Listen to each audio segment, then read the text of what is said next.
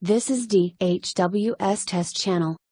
Today's Xiaomi Mi Max 3 unboxing with the inside of box. Let's open.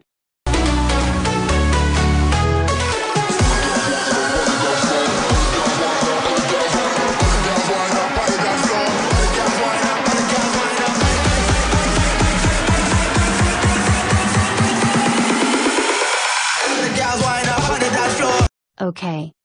The Mi Max 3 will sport a 6.9 inch display with an 18 to 9 aspect ratio. It will be powered by the octa-core Qualcomm Snapdragon 636 SoC, and come in two variants minus 4GB RAM slash 64GB inbuilt storage and 6GB RAM slash 128GB inbuilt storage. The Mi Max 3 will feature a dual rear camera setup with a 12 megapixel primary sensor and a 5 megapixel secondary sensor. It will bear an 8 megapixel front camera.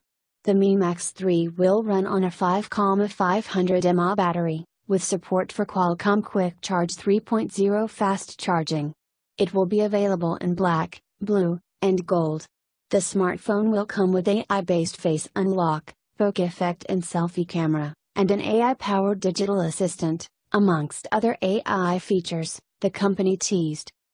In a post on Wednesday, which compared the Xiaomi Mi Max 2 with the Mi Max 3, Xiaomi co-founder Lin Bin reveals that the upcoming phablet will sport a soft light for the front camera, making for better low-light selfie photography. Bin said, Xiaomi Max 3 is a comprehensive upgrade, over the Xiaomi Max 2, including screen upgrade from 6.44 inch 16 to 9 to 6.9 inch 18 9 full screen, battery upgrade from 5,300 mAh to 5500 mAh, rear single camera 12 megapixel upgrade to dual camera 12 megapixel plus